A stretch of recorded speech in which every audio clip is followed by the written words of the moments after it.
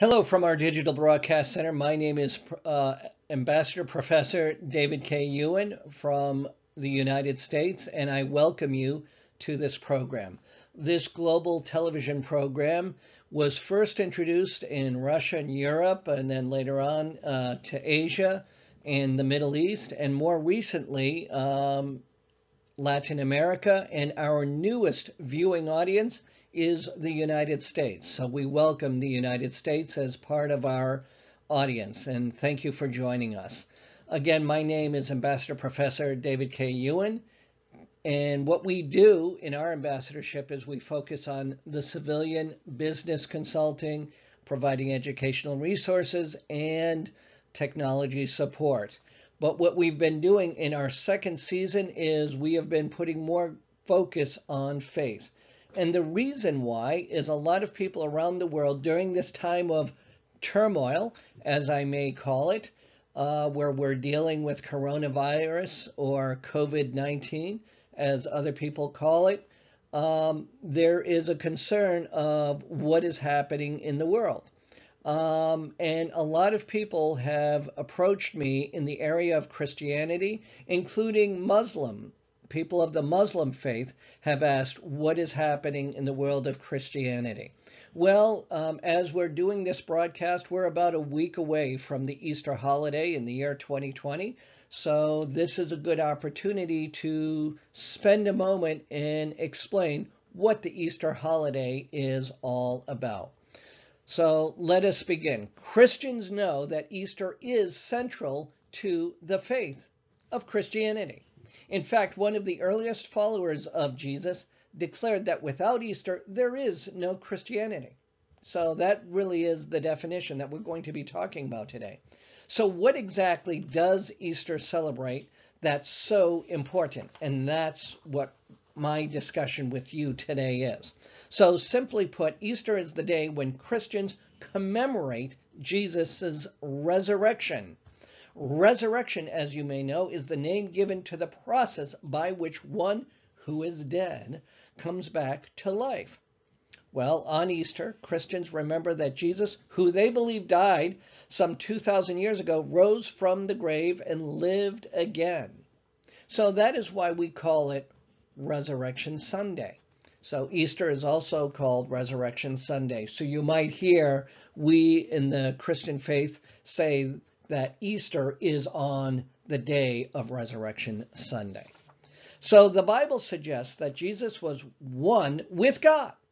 And though he was God, he was more human in flesh and experienced what we experience as people. But there was one major exception. Jesus lived a completely uh, holy, I should say, and sinless life. Therefore, when Jesus died, he satisfied God's requirement of perfection. That's what makes Jesus different from the rest of man. By living a holy life and dying on our behalf so that our sins could be forgiven, Jesus reversed the consequences of death. Think about that. By living a holy life and dying on our behalf, Jesus reversed the consequences of death. That means we have salvation and an everlasting life. That was the promise that Jesus gave. He was preparing a place for us, a place of heaven. So we're going to talk more about this. So through this act, Jesus gave humanity a supreme gift sent by God, his Father. He lived a perfect life that we humans could not live. Then he died on our behalf that's the crucifixion. In doing so, he gave his perfect life to us so that he could be reconciled to God and experience life as it was meant to be. So God, through the person of Christ, loved us enough to enable humanity to experience a restored relationship with its creator now and forever. So today's topics, I'm going to talk about three things. Here are the three things that I'll talk about. Number one, it's the logical explanation of Easter. It's the logical explanation of Easter. So I'm going to give you an understanding in a logical sort of way. Okay.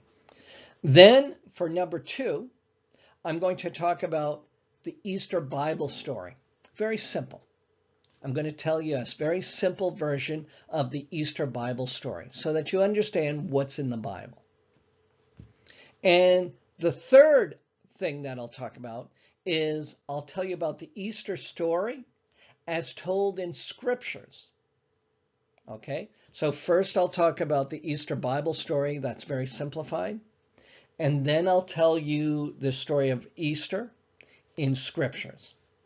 So Here's an abbreviated logical explanation of what we learned through the crucifixion and the resurrection of Jesus Christ. These are the things that we learn.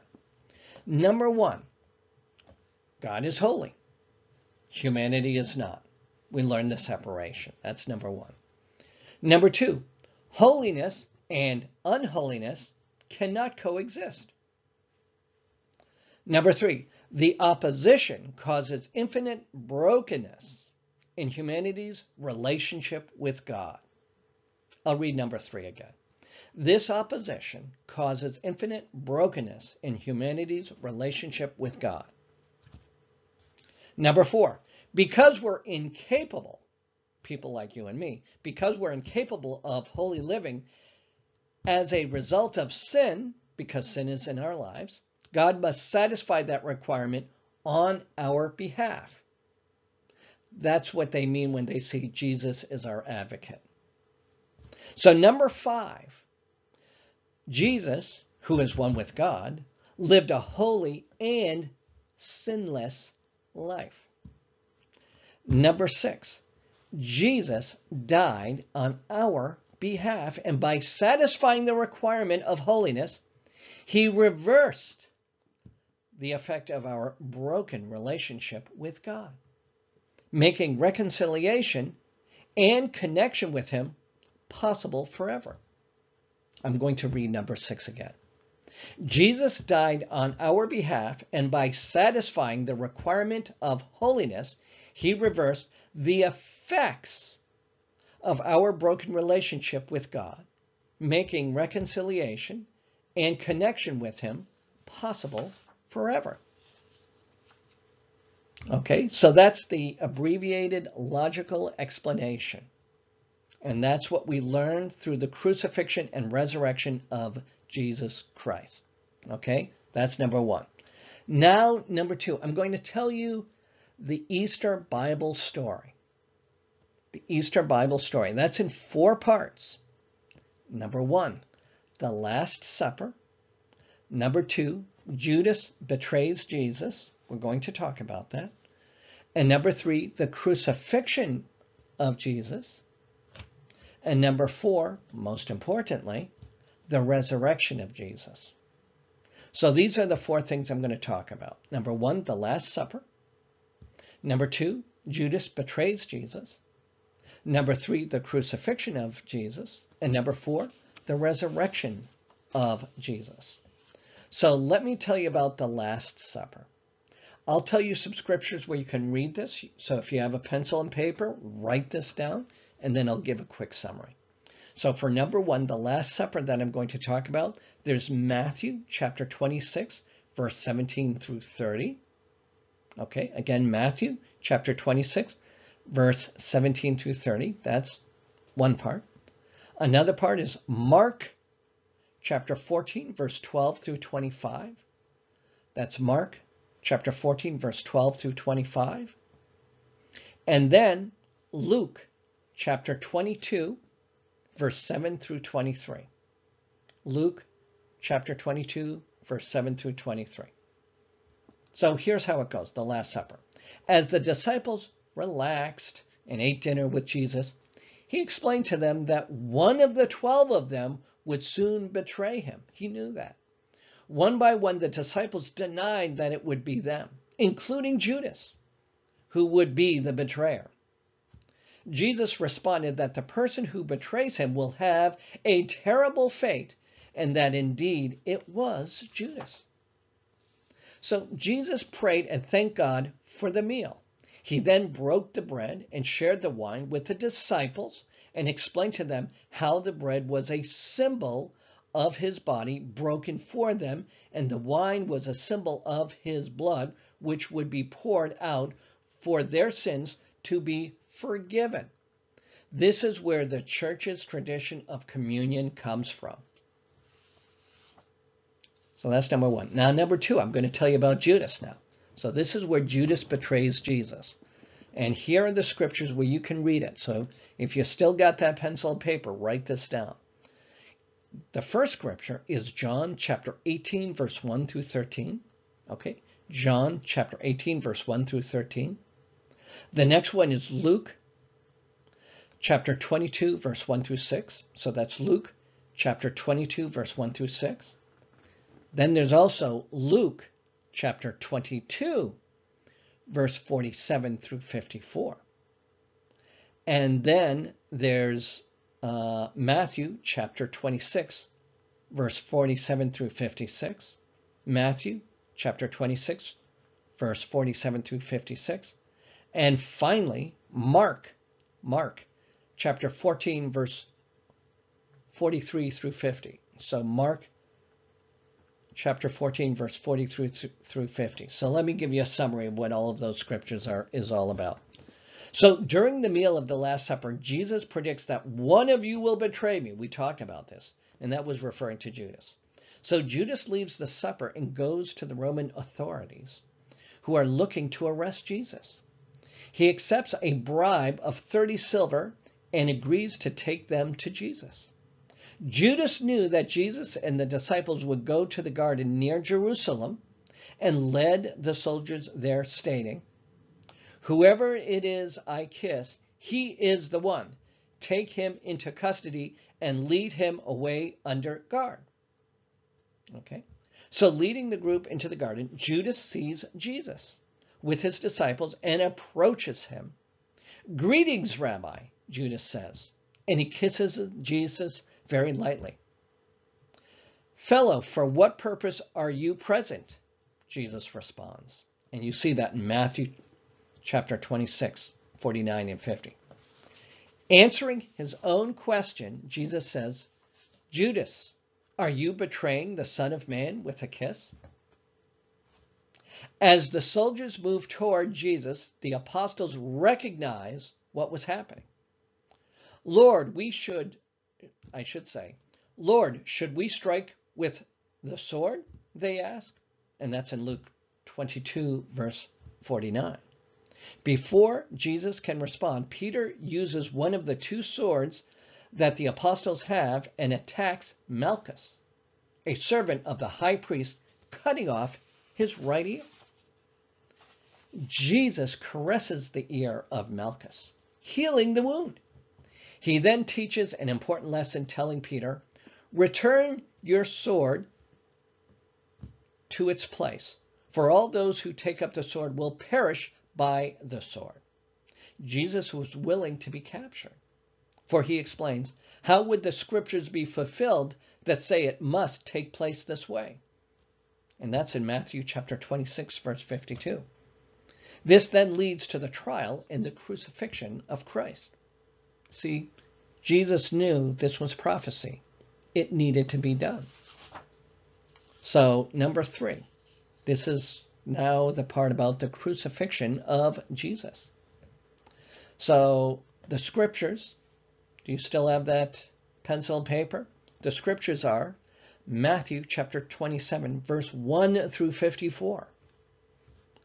Matthew chapter 27, verse 1 through 54. You can also read it in Mark chapter 15, verse 1 through 40. Mark chapter 15, verse 1 through 40. You can also read it in Luke chapter 23, verse 1 through 48. Luke chapter 23, verse 1 through 48. And finally, John chapter 19, verse 1 through 30. John chapter 19, verse 1 through 30. Now, let me explain the summary of all of those scriptures. So, Jesus had prophesied of his death in Matthew from that time on, Jesus began to explain to his disciples that he must go to Jerusalem and suffer many things at the hands of the elders, the chief priests, and the teachers of the law, and and that he must be killed, and on the third day, on the third day, be raised to life. Jesus understood that his life would be required as a sacrifice for the sins of man. So Jesus had a crown of thorns thrust on his head and made to carry his cross along the pathway to the hill where he would be crucified. The location of Jesus' crucifixion is known as Calvary. You see, the crucifixion of Jesus was part of God's plan from the very beginning of the birth of Jesus. The sin of mankind would require a sacrifice. The sinless life of Jesus was lived and given so that man could receive salvation and eternal life in heaven. So now I'm going to tell you about the fourth part the resurrection of Jesus. Okay, so once again, if you've got that pencil and paper, you can write down these scriptures about this part number four, the resurrection of Jesus. So this is Matthew chapter 28. There's also Mark chapter 16, Luke chapter 24, and John 20. I'll say that again Matthew 28, Mark 16, Luke 24, and John 20. So let me give you a summary of what all of that is about. The resurrection of Jesus Christ is the foundation of Christian faith. Quite simply, that's what Easter is all about. The resurrection of Jesus Christ is the foundation of Christian faith. Without the resurrection, the belief in God's saving grace through Jesus is destroyed. When Jesus rose from the dead, he confirmed his identity as the Son of God and his work of atonement, redemption, reconciliation, and salvation. The resurrection was a real, literal, physical raising of Jesus' body from the dead. Jesus was arrested and uh, tried and found guilty of claiming to be a king. His body was hung on a cross between two thieves. After his death, Jesus' body was wrapped in linen clothes and placed in a tomb with a large stone rolled across the opening. On the third day, an, uh, an early Sunday morning, Mary Magdalene and another Mary came to the tomb and found it empty. Sitting on the rolled away stone was an angel of the Lord who told them to not be afraid because Jesus had risen. As the woman left to tell the disciples, Jesus Christ met them and showed them his nail pierced hands. So that's the understanding of Easter. But now, what I'm going to do, in a very simple way, I'm going to give you the Easter story as told in scriptures. Okay, that's what I'm going to do now. I'm going to give you the Easter story as told in scriptures. So, for number one, this is number one Jesus' triumphal entry into Jerusalem. This is in Matthew chapter 21, verse 7 through 9. And I'll read the scripture. Matthew chapter 21, verse 7 through 9. They brought the donkey and the colt and put them on their cloaks, and he sat on them. Most of the crowd spread their cloaks on the road, and others cut branches from the trees and spread them on the road. And the crowds that went before him and that followed him were shouting. And that's in Matthew chapter 21, verse 7 through 9. Now I'm going to do number two. Number two. Judas agrees to betray Jesus. And that's in Matthew chapter 26, verse 14 through 15. Matthew chapter 26, verse 14 through 15. And I'll read it. Then one of the twelve, whose name was Judas, went to the chief priests and said, What will you give me if I deliver him over to you? And they paid him 30 pieces of silver. And from that moment he sought an opportunity to betray him. And that's in Matthew chapter 26, verse 14 through 15. That's number two. So now let me do number three. Here's number three. That's the Last Supper. It's where communion is all about. We talked about that before. So this is in Matthew uh, chapter 26, verse 18. He said, Go into the city to a certain man and say to him, The teacher says, My time is at hand, and I will keep the Passover at your house with my disciples. And again, that's in Matthew chapter 26, verse 18. Now we'll talk about number four, the Garden of Gethsemane. And that's in Matthew chapter 26, verse 36. And also in Matthew, also in chapter 26, verse 39. So it's Matthew chapter 26. I'll read verse 36 and verse 39. So I will read it. Then cometh Jesus with them unto a place called Gethsemane, and, and saith unto his disciples, Sit ye here while I go and pray yonder. And that's in Matthew chapter 26, verse 36. Now I'll read verse 39. And going a little farther, he fell on his face and prayed, saying, My Father, if it be possible, let this cup pass from me. Nevertheless, not as I will, but as you will. Not as I will, but as you will. And that's in Matthew chapter 26, verse 39. Now, number five.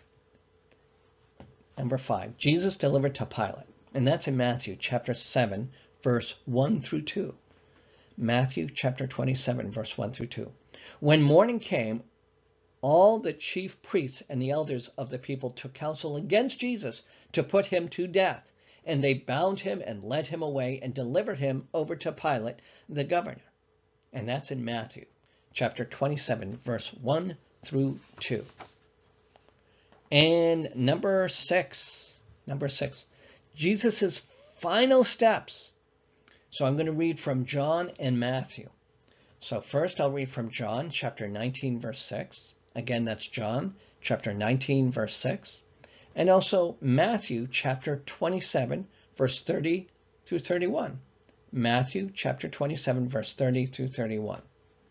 So here's here's the first one, which is John chapter 9 verse 6.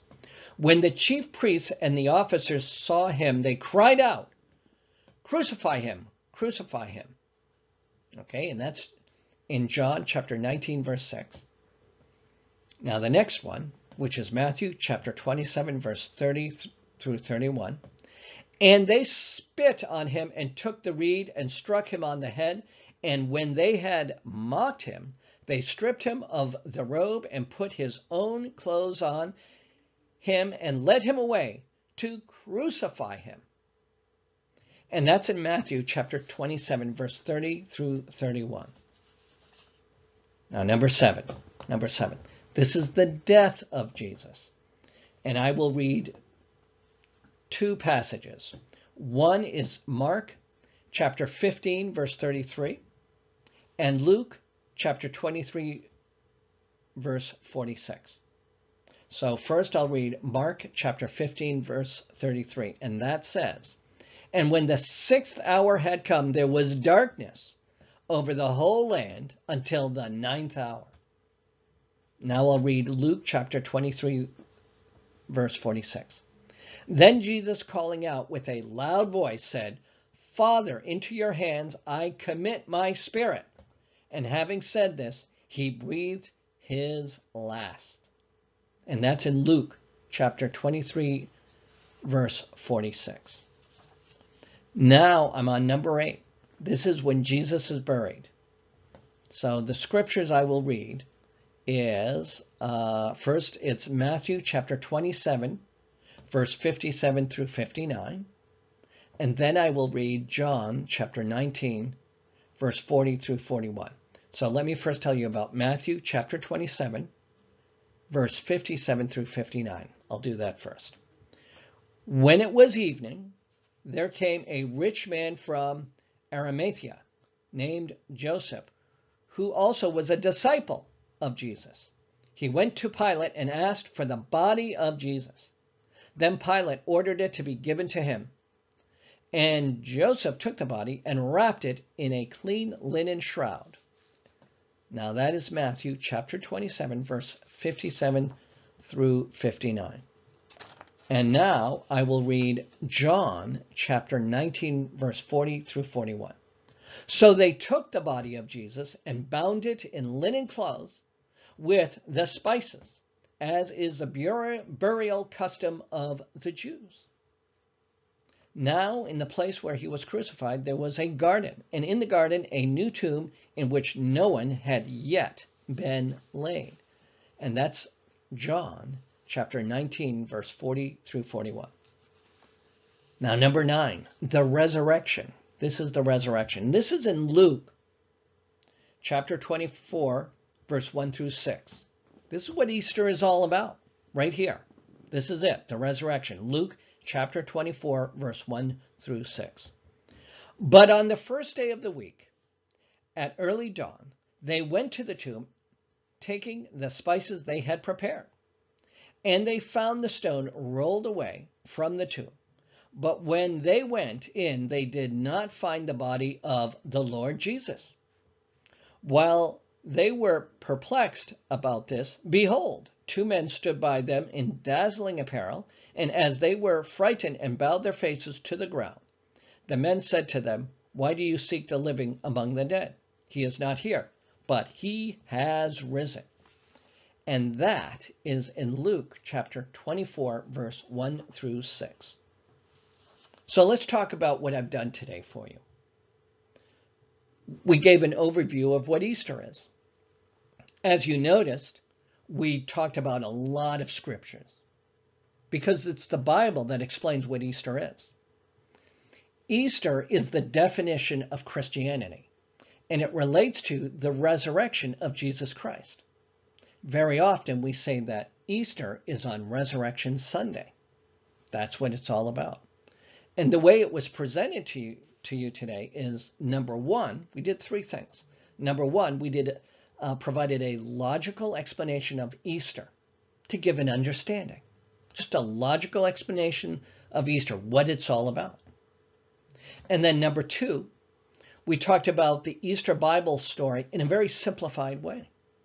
Okay, a very simple Easter Bible story so that you understand what it was all about. So then with that understanding, we could go to number three, which was the Easter Bible story as told in scriptures. And we provided all of the scripture for that. So I hope this is helpful to you in understanding what the celebration of Easter is. Um, my name is Ambassador Professor David K. Ewen. I welcome you to the program. Thank you for joining me. And I look forward to you seeing me and me seeing you in our next episode. Thank you for joining me. This is Inspire.